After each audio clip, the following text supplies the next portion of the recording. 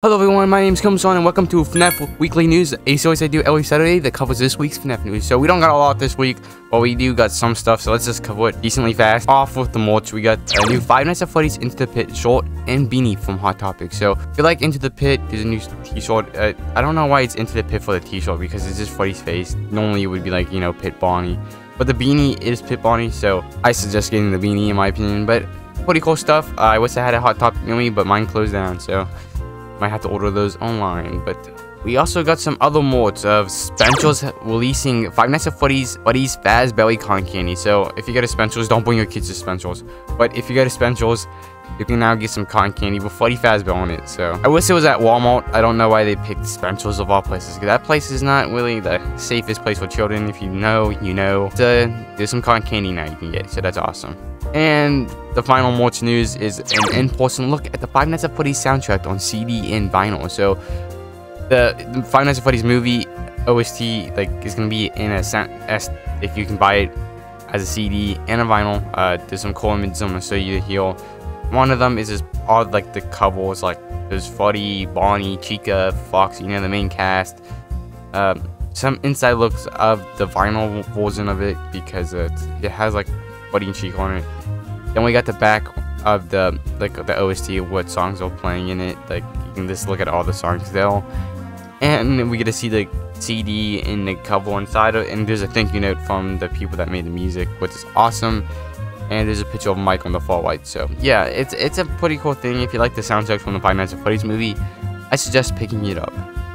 But that was all for the merch news. I told you we did not have a lot of news this week, but we are, let's go into the book news. So they updated the cover for Five Nights at Freddy's Return of the Pit, released on December 24th, 2024. So the new cover changed the, the yellow rabbit's eye color to blue and various template alterations.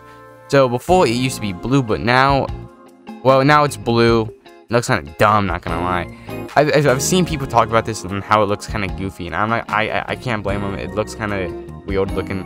They also made him a little bit whiter with the yellow on his like fingers and stuff like that.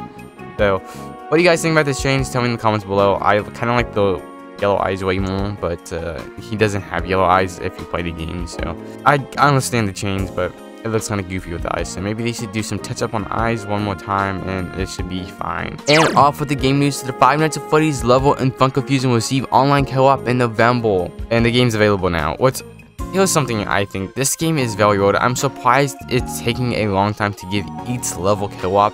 This should have been in the works when the game was being developed, but I guess they're doing it after, which makes kinda no sense. It's it's very strange in my opinion.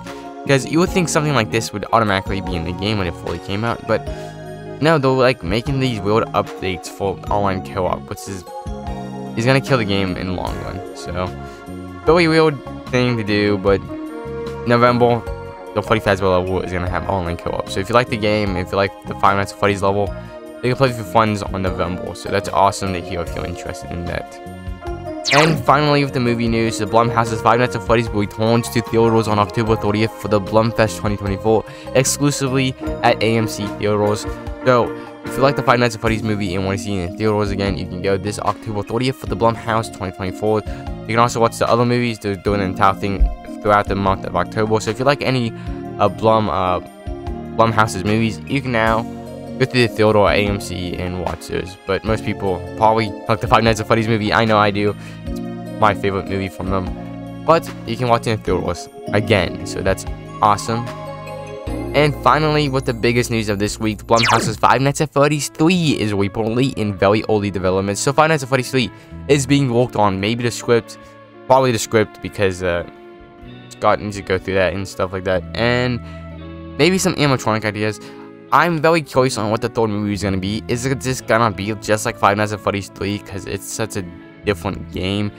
How's the Phantoms gonna work? Because they aren't really animatronics. They're kind of like ghosts. But we just gotta wait and see. Maybe Springtrap's gonna look super cool. We gotta wait like probably like three years for this movie to come out though. Which I'm not complaining. But I hope it's very awesome. But that was all the news for this week. I know it wasn't a lot of news, but sometimes you have those slow weeks and you can't expect much sometimes. But if you guys like this video, please like and subscribe. I do this every Saturday, so if you like the FNAF news of me covering it, I will always cover it. But I will see you guys next time.